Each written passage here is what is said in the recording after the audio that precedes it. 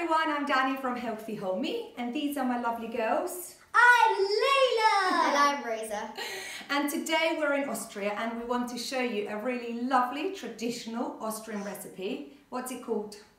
It's called Frittatensuppe. So it's a soup and how do you make it, Rosa?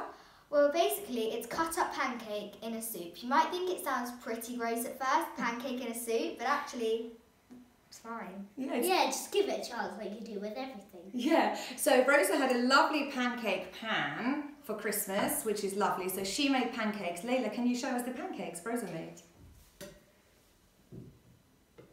I made them by the way. Drum roll! Ta-da!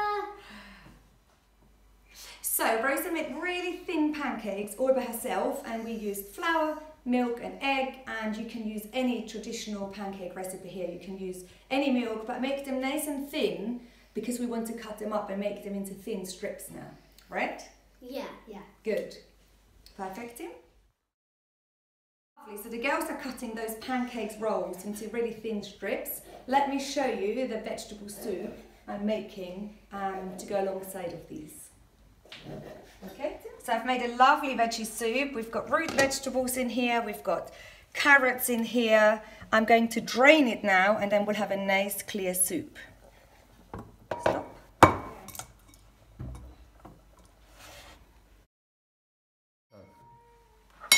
One, two, three. Now, do you want to help yourself with soup, Layla? Can I? Yes, please. You can help yourself. Careful. The soup is really tasty. I did add a little bit of stock, just normal vegetable stock.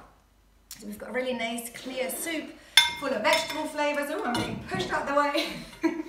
and the kids are going to just help themselves to do pancakes now. Um, and it's a really traditional Austrian recipe, which you'll find in traditional places. It tastes really delicious, doesn't it, Rosa? Yeah. Yeah. And my Oma, so my granny usually makes it, but now the kids can make it too. I'm quite pleased that we're passing on the tradition. Right, enjoy everyone. Bye! See you soon. Bye.